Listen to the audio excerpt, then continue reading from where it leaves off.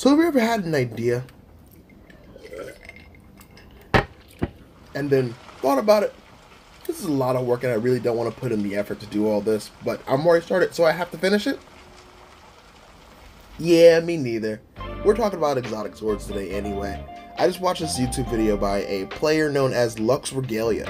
He's a very good Crucible player, and I highly suggest you follow him on Twitter. His clips are great. Anyway, this guy loves swords. He especially loves the sword Black Talon, and he did some very extensive testing. And I kind of wanted to jump in on that, but I wanted to try it with a different sword. And I was thinking Worldline Zero. He was showing basically what Black Talon can and can't block, and I want to do the same testing with Worldline Zero to see, you know, what it can do, and if there's any difference, if there's any reason why you should pick that sword over the other, or which one's just better in general. The reason why I'm picking this sword over Black Talon is because it has the perk Infinite Guard. Basically, as long as you're holding the guard button, your energy bar won't deplete at all. So you can hold that thing for as long as you want. The only thing that will deplete it is you taking incoming damage. So you don't have to worry about pacing yourself. You can hold it for as long as you need to. Now this one perk is the reason why I chose Worldline Zero over Black Talon. The difference in performance between these two is that Black Talon has the perk Heavy Guard, which I believe gives you more damage resistance per damage that you intake from incoming sources. Uh, Worldline Zero will allow more damage to you, like in chip damage basically, while Black Talon will allow less. So obviously that's going to make a very big difference in what Black Talon can block and what Worldline Zero can block. I'm going to run some footage back to back of, of the same supers damaging each sword, and you be the judge. Obviously, Black Talon takes more damage to be able to break and be able to actually kill the Guardian, but Worldline Zero isn't too far behind.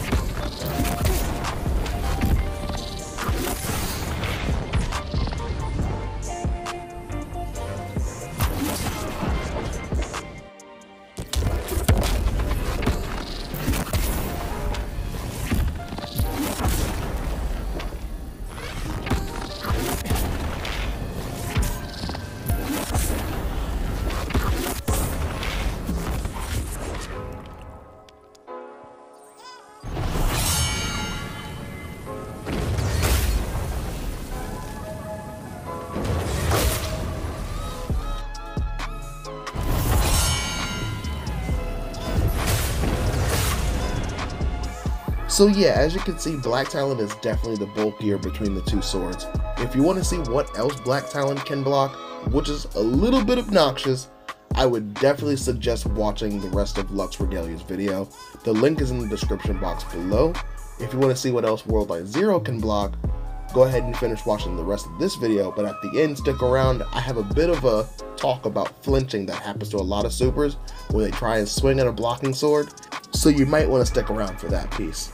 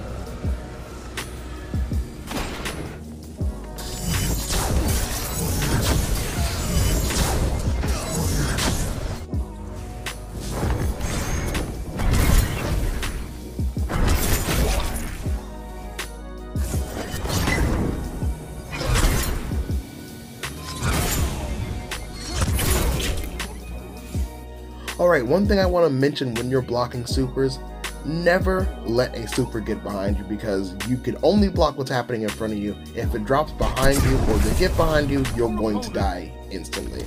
So definitely would put that out there. Do not let anybody get behind you when they're using the super.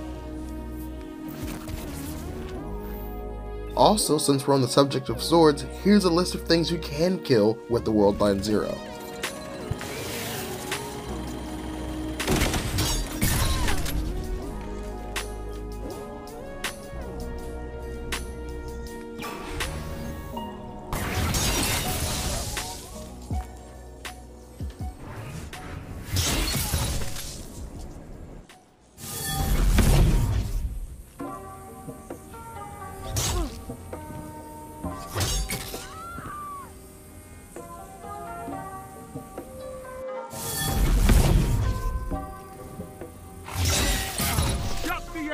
Down.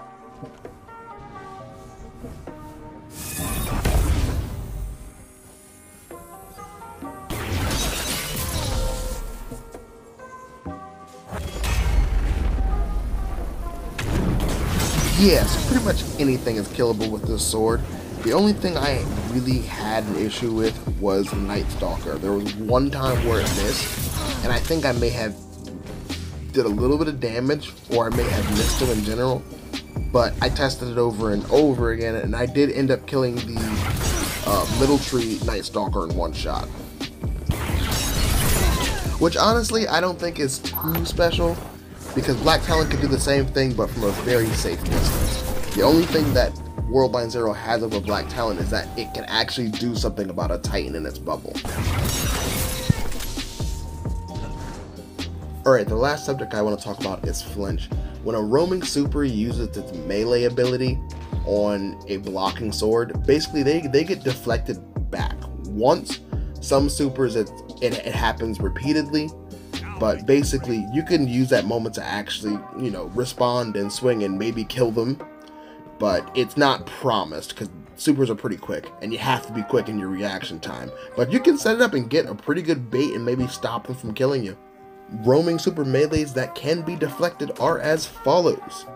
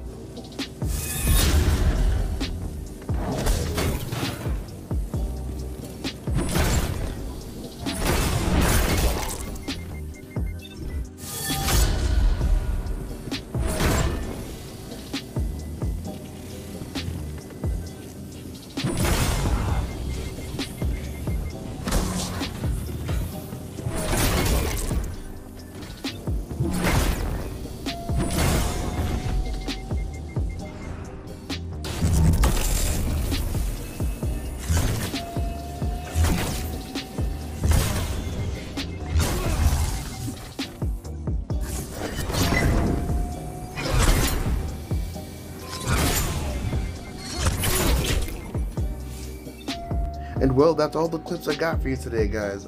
Hopefully this was informative. If it was, go ahead and hit the like button. If you want to see more content like this, I got plenty more coming out. Go ahead and hit the subscribe button. Thank you for watching, guys. Peace.